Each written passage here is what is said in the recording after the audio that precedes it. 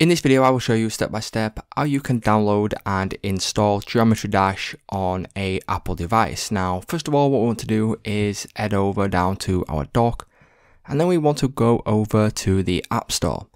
Click on the App Store and then go to the search bar, and then you want to search for Geometry Dash.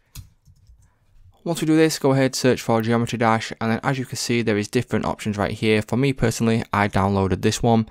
So what you want to do is click on this and then download it as you would. So click on it, click on get, and then click on install. Once you click on install and it's fully installed, you will then be able to open up the app, just like this one right here. Now what you can do is you can simply go ahead and play it as you would normally.